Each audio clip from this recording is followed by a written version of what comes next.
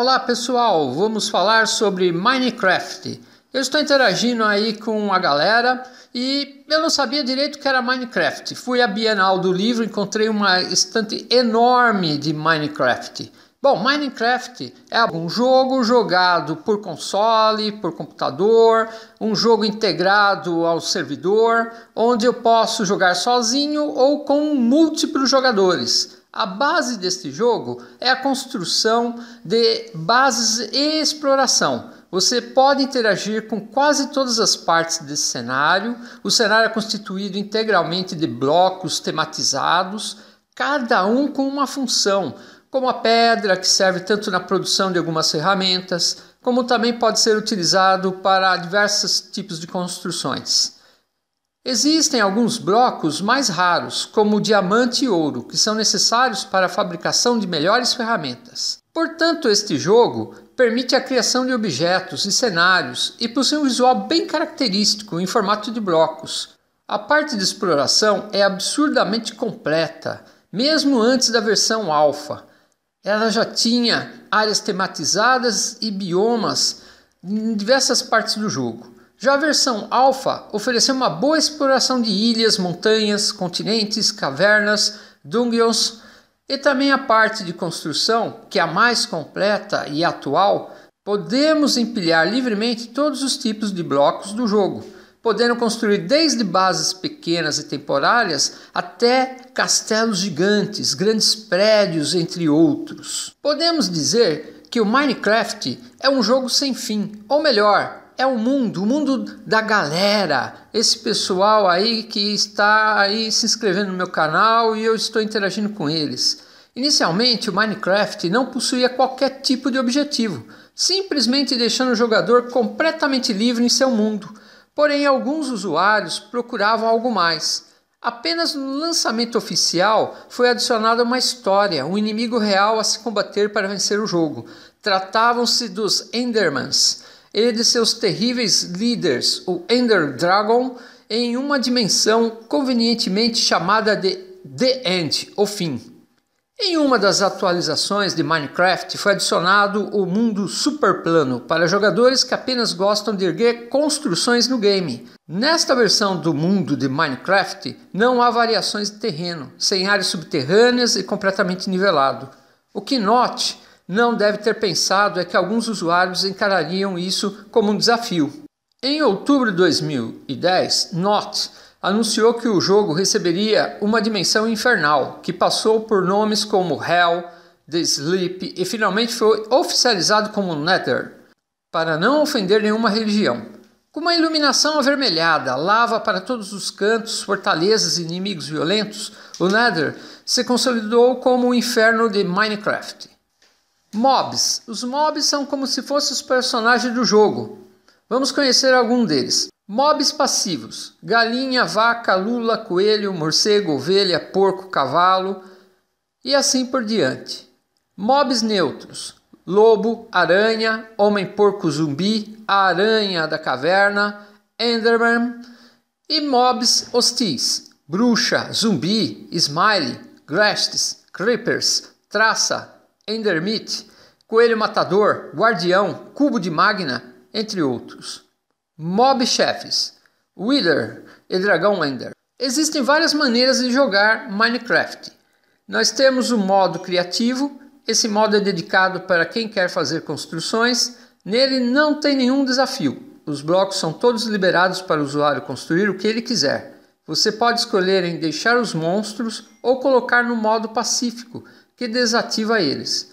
A grande vantagem é que se pode voar e utilizar poções para ganhar alguns efeitos, como o de se movimentar mais rápido.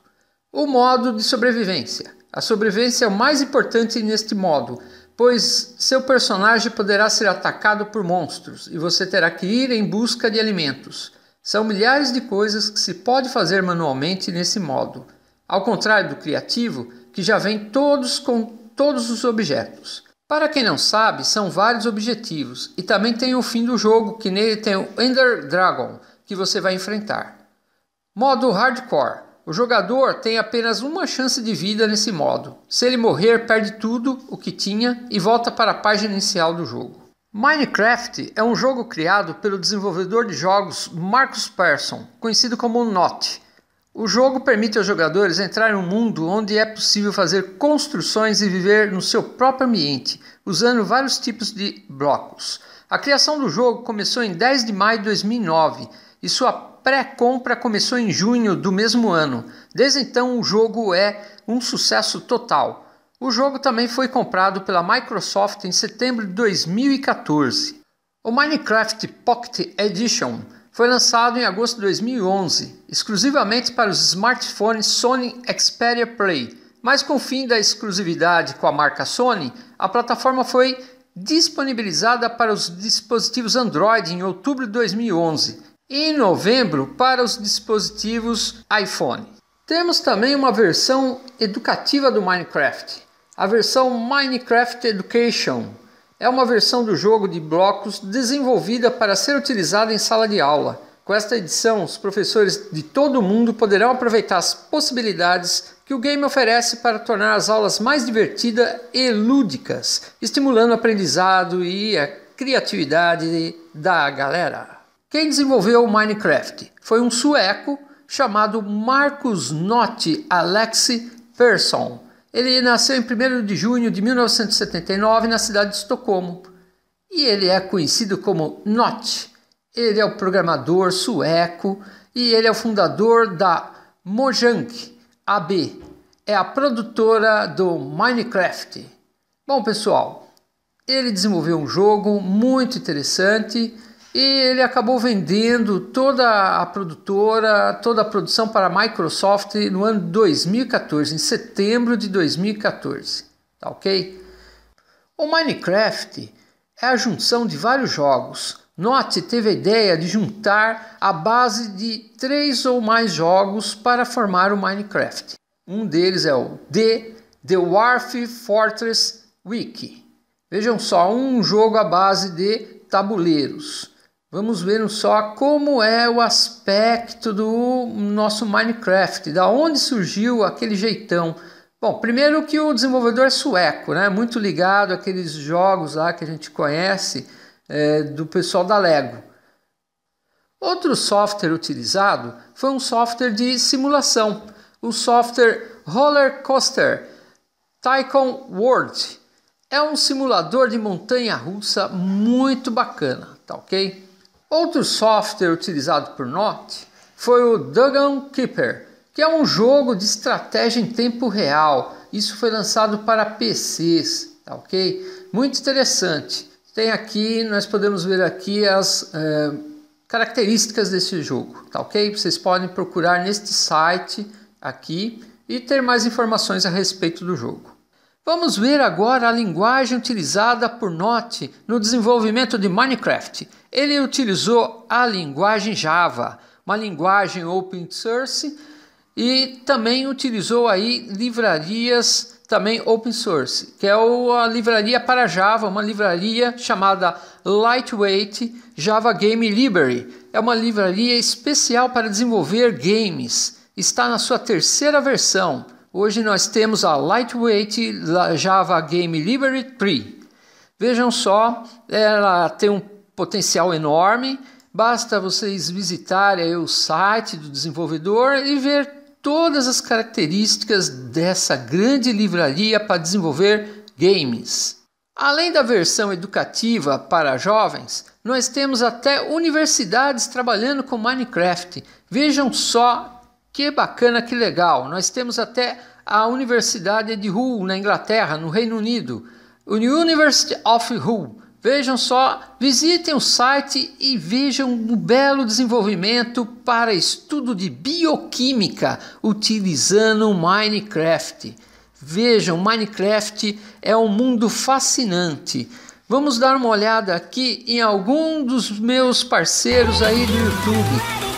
Minecraft tomou conta do YouTube. A galera domina. Existem jovens utilizando o YouTube para fazer sua apresentação dos seus jogos. Existem jovens apenas observando.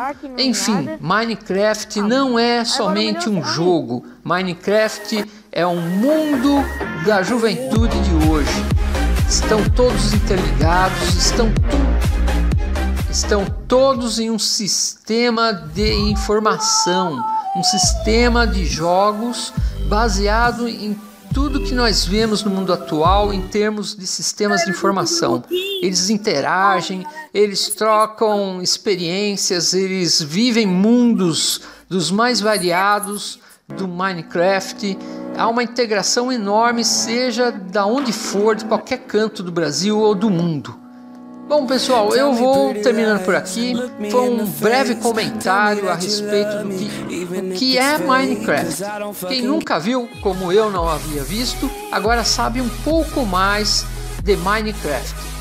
Pessoal, se vocês gostaram aí, galera, se vocês gostaram, deixem um like aí e até um próximo vídeo. Até mais!